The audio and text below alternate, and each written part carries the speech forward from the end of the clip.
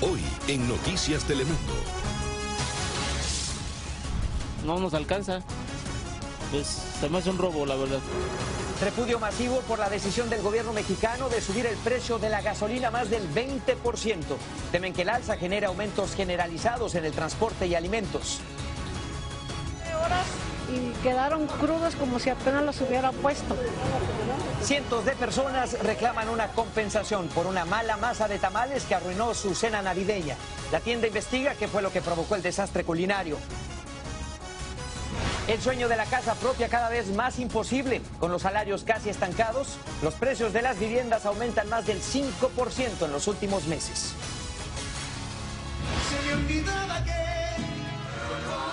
El 2016 se va y con él desaparece un gran número de estrellas del espectáculo. Hacemos un repaso de la larga lista de artistas que se han marchado prematuramente este año.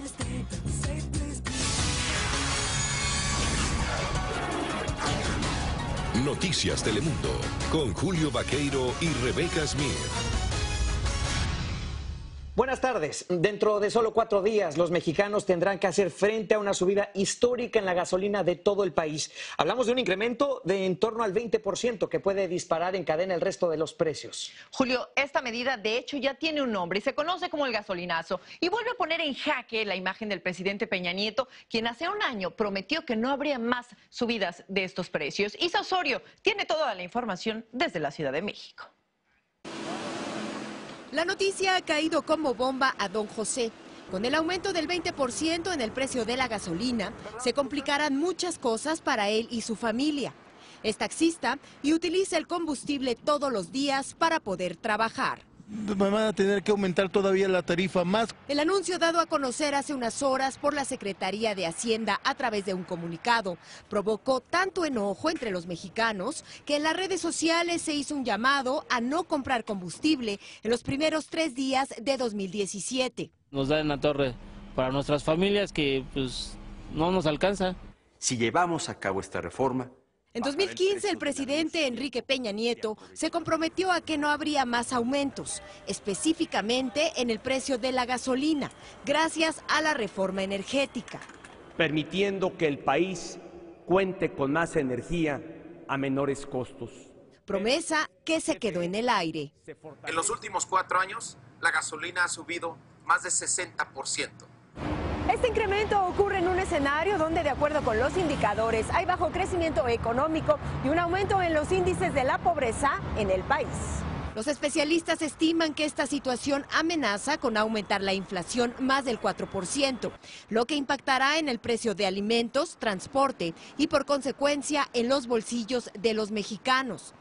Humildemente, no sé, una tamalera te dice, ya doy más caro porque la gasolina ya está cara. A ese panorama se suma el desabasto desde hace varios días en gasolineras de por lo menos 15 estados del país, lo que ha provocado caos y pánico por adquirir algunos galones de combustible. En la Ciudad de México, Isa Osorio, Noticias Telemundo. Aquí en Los Ángeles, decenas de personas hacen largas filas para cobrar reembolsos por una mala masa que les arruinó los tamales en Navidad. La multitud de indignados clientes esperan horas para conseguir que les devuelvan algo del dinero que invirtieron en una comida que terminó siendo una pesadilla. Edgar Muñoz estuvo ahí. Y ahora están diciendo que no lo van a pagar. ¿Por qué? Gente enojada reclamando cobrar el reembolso al vocero de la tienda Amapola por los tamales incomibles cuya masa de maíz les arruinó la fiesta de la pasada Navidad. Esther López exige 170 dólares. Yo les dije, lo quiero que les traigan los, los tamales, ahí los tengo, no están cocidos. Las filas de clientes con los recibos en las manos para reclamar su reembolso daban vuelta al negocio de Downey. Son tres días de trabajo. María González preparó tres ollas con tamales para la fiesta de su hija Leslie, quien cumplió 17 años de edad el día de la Nochebuena. Nueve horas y quedaron crudos como si apenas los hubiera puesto.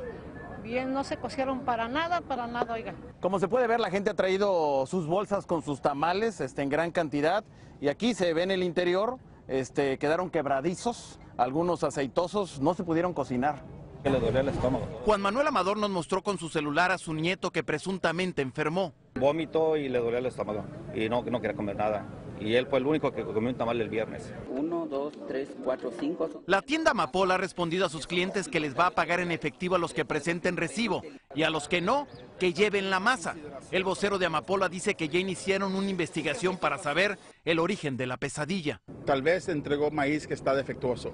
Estamos usando todos los laboratorios para comprobar y asegurarnos de que el maíz fue el culpable de que este problema haya existido.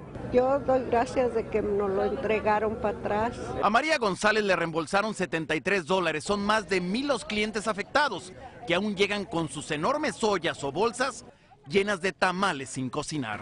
En Downey, Edgar Muñoz, Noticias Telemundo.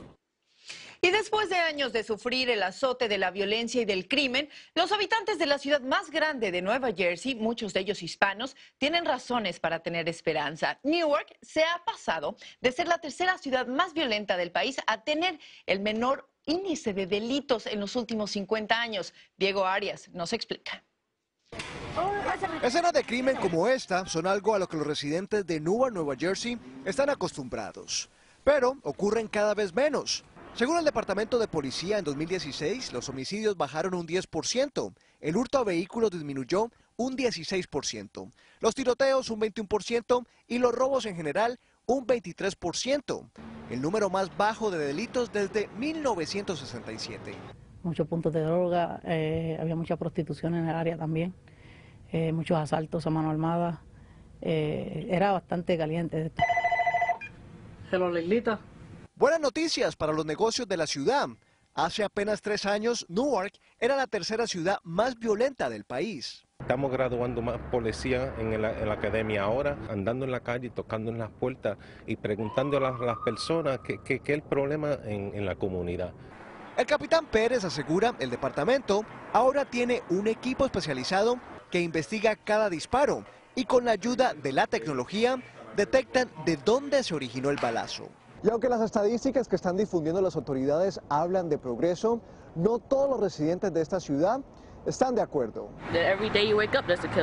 Esta residente dice no creer mucho en las estadísticas y asegura que continúan los asesinatos. Las autoridades reconocen que hay mucho por hacer. Por ahora, en esta organización donde se brinda ayuda, terapia y un lugar para estar fuera de las calles a los jóvenes de esta ciudad, reciben este cambio con esperanza. En Nueva Nueva Jersey, Diego Arias, Noticias Telemundo. Nos quedamos ahí en Nueva Jersey. Los padres de un niño transgénero hispano de 8 años acusaron a los responsables de un centro de Boy Scouts de haber expulsado a su hijo, que además había sido víctima de actos de violencia. El asunto vuelve a situar en el punto de mira a esta organización acusada en otras ocasiones de discriminación. Hasta el año 2013, por ejemplo, los Boy Scouts no permitieron la homosexualidad entre sus miembros. Y ahora nos vamos hasta Venezuela, donde las familias necesitan ya 23 salarios mínimos para comer y pagar servicios públicos. La subida de los precios y también el desabastecimiento ha obligado a muchos padres a inclusive dejar de comer y dar lo poco que tienen a sus hijos. Adriana Núñez nos tiene el informe. Restricción es el término que usa Manuel Naranjo para explicar cómo logra hacer rendir su sueldo y el de su esposa para poner en la mesa la comida para sus dos hijos. Para ellos, las salidas al cine o a algún restaurante terminaron cuando la inflación tomó por asalto sus ingresos. Renuncia a muchas cosas, por lo menos no puedes comprar, deja de comprar tanta carne como antes, como ahorita. Y así vas dejando de comprar muchas cosas. Y... Para comprar un kilogramo de carne en Venezuela se necesitan cuatro días de trabajo. Un kilogramo de arroz cuesta otros tres días de salario, por lo que los venezolanos han mermado el consumo de productos básicos. Ahorita no puedo comer el pollo porque está muy caro, la carne, todo eso está caro. He dejado de comer harina, arepa porque no consigo la harina. La ciudadanía debe perder horas de trabajo aguardando en largas filas para poder adquirir lo poco que hay. Iremos a comer barro el próximo año. Frente a la escasez y el aumento veloz en el precio de los alimentos, 12% de los venezolanos ha reconocido que solo come una o dos veces al día, según datos de una encuesta elaborada por siete universidades del país. Algunas veces dejamos de cenar para darle a la persona que tenemos al lado. En mi caso es mi mamá. Especialistas apuntan que este panorama es consecuencia de la política de control económico aplicada por el gobierno. Nosotros estamos padeciendo los efectos más terribles de una hiperinflación que no es el primer año, sino van tres años de una inflación creciente. 8% de los venezolanos confesó en un estudio elaborado por la Universidad Católica Andrés Bello haber hurgado en la basura para saciar el hambre. El gobierno ha intentado enfrentar la crisis distribuyendo bolsas de comida a bajos precios, pero según la oposición, este programa solo llega a 17% de las familias. En Caracas, Venezuela, Adriana Núñez Rabascal, Noticias Telemundo. ¿Qué le parece? En otras cosas, crecen los reproches entre la administración Obama y el gobierno israelí tras las palabras de hoy del secretario de Estado John Kerry, que aseguró que el no reconocimiento del Estado palestino por parte de Israel es una amenaza para la paz. En uno de sus últimos discursos como jefe diplomático, Kerry defendió la abstención de su gobierno en la reciente resolución de la ONU que pedía el fin de los asentamientos israelíes en territorios palestinos. Y tanto el primer ministro de Israel, Benjamin Netanyahu, como el presidente electo Donald Trump le han contestado con mucha dureza. Donald Trump incluso ha llegado a decir en un tuit, permanece fuerte Israel. El 20 de enero se acerca rápidamente. Esto en alusión a la fecha en que tomará posesión precios de las viviendas en todo Estados Unidos subieron en un promedio de un 5%, con los salarios casi estancados. Bueno, para muchas personas el sueño de una casa es casi imposible. Víctor Hugo Rodríguez acompañó a una pareja hispana que, pese a todo, no abandona esa meta de conseguir su techo propio. El señor Manuel Guzmán y su esposa visitaron una casa que podría convertirse en su hogar. Cuente, ¿qué le gustó de la casa? No, la casa está muy bonita, está ubicada en una buena área y reúne pues, los requisitos que nosotros andamos buscando. Es el lugar ideal para empezar una nueva vida en Houston, Texas, a donde el señor Manuel y su esposa se mudaron hace cuatro meses desde Nueva York. Que la verdad que ya nosotros por el frío pues ya nos queremos mudar para algo más caliente, que aquí pues nos, nos ha gustado pues la, la vida acá, ¿no? El precio, sin embargo, no es el que estaban buscando. La casa se vende ahora por 260 mil dólares, pero una propiedad similar en la misma calle se vendió por 60 mil dólares menos en el mes de junio. Las ciudades con el mayor incremento en el valor de la propiedad fueron Seattle, Portland y Denver, pero los aumentos del 5.6% según Case Sealer se han notado desde octubre en los precios de las viviendas de todo el país. Y es que los retos que están enfrentando los compradores de casa es que los sueldos no han crecido al mismo ritmo que el valor de las propiedades y además los intereses de las hipotecas han comenzado a subir. Pero aún con el incremento de las tasas hipotecarias, las ventas de las casas continúan. Se está escuchando mucho en la cuestión de las tasas de intereses, que también es otra cosa que va a afectar la cuestión de, de las calificaciones para los compradores de casa. Mientras que la familia Guzmán, aún con los precios y los cambios en las tasas de intereses, ellos seguirán buscando por la casa que les brinde la tranquilidad para poder jubilarse. Víctor Hugo Rodríguez, Noticias Telemundo. Bueno, encontraste una historia que trae esperanza. En el estado mexicano de Puebla, las ganas de superarse no tienen fecha de vencimiento. Así es, Julio, este hombre no lo demuestra. Y es que casi a sus 80 años, bueno, no son impedimento para él para vivir una ilusión de una vida universitaria que apenas comienza. Ingrid Barrera nos cuenta. Cuando parece que la vida se escapa entre las manos, hay que voltear a ver a Felipe, que parece una recarga de energía. Sensores para, pues, para la robótica. Él es estudiante de Ingeniería en Procesos Industriales en la Universidad Estatal de Puebla y a solo unos meses de cumplir 80 años nos dice que le falta mucho por vivir. La verdad me siento muy fuerte, me siento, vamos, y, me, y las matemáticas se me dan, no, bueno, convivo con todos los jóvenes. Don Felipe es viudo, tiene cinco hijos y toda su vida se ha dedicado al trabajo industrial como obrero, pero dice que entrar a la universidad le ayudará a perfeccionar sus habilidades en las armadoras de autos. No me siento ni fuera del lugar, sino en el lugar exacto. Sus profesores dicen que no tienen un trato preferencial, pues aseguran que tiene más lucidez que muchos de sus contemporáneos. Sorprende mucho la capacidad de retención de información, de crecimiento personal que ha tenido y de crecimiento este, a nivel educativo.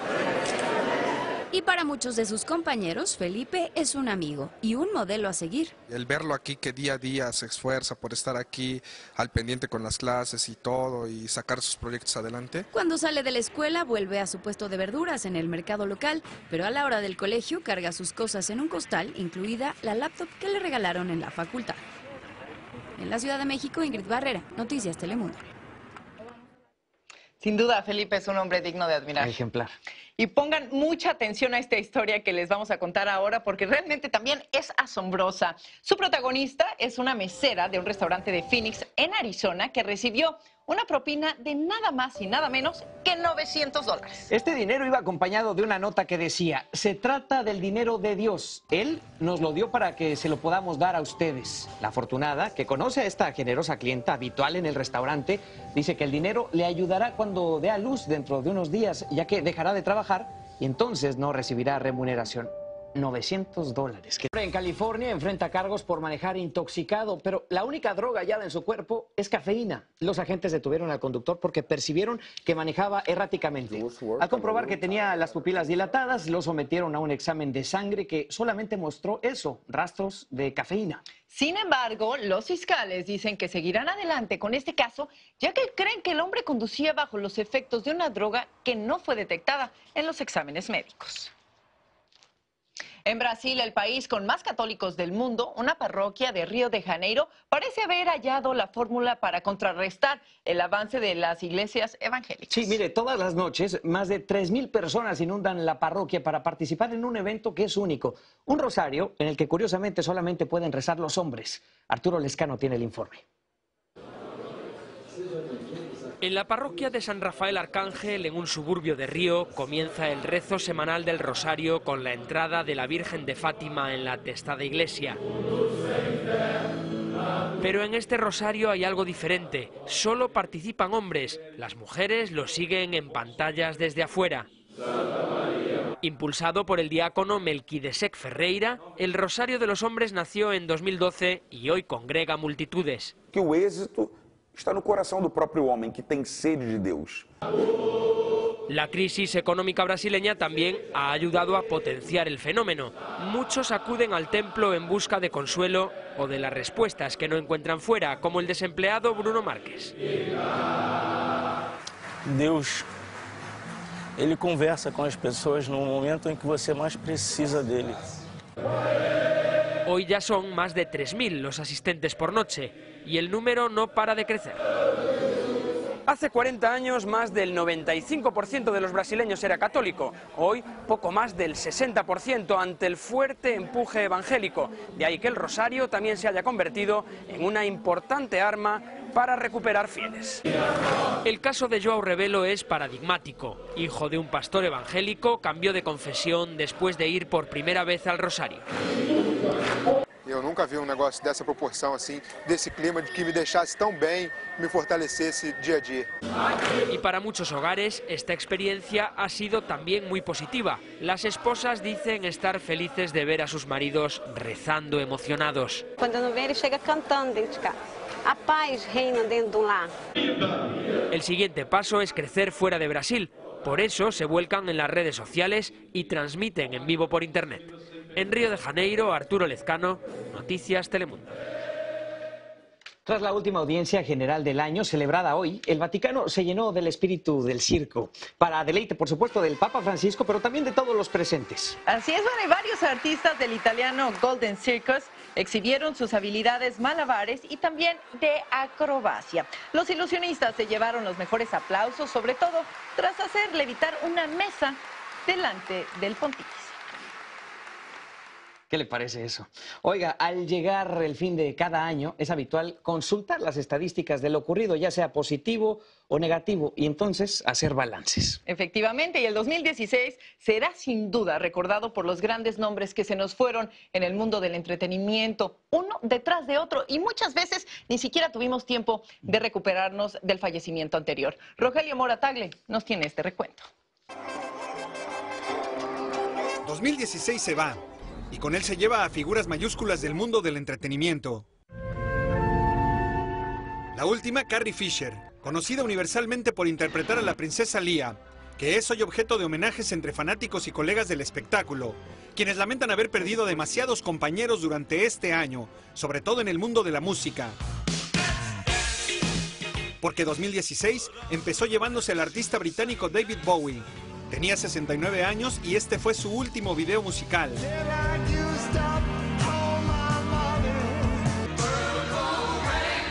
Tres meses después, el legendario cantante y compositor estadounidense Prince fue hallado sin vida a los 57 años en su estudio de grabación en Minneapolis.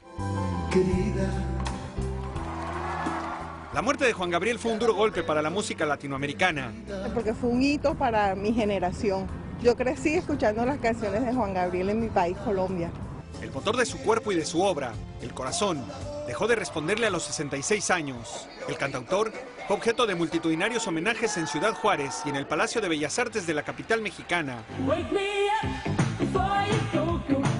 En el día de Navidad, el compositor y cantante británico George Michael ya no despertó. George Michael, que tenía 53 años, alcanzó fama mundial con Wham. Pero después tuvo una exitosa carrera como solista, salpicada de grandes escándalos personales. Su publicista informó que murió por una deficiencia cardíaca. Se trata de una lista larga que incluye al legendario actor Mario Almada, a Rubén Aguirre, quien dio vida al profesor Girafales en la serie de Chespirito El Chavo del Ocho, y a la estrella de la música tejana Emilio Navaira. Ellos son otros de los nuestros que se fueron en este 2016. Rogelio Moratagle, Noticias Telemundo. Muy bien, pues así nos vamos. Gracias por estar con nosotros. Y también muchas gracias por su tiempo, por supuesto. Lo esperamos mañana en punto de la misma hora.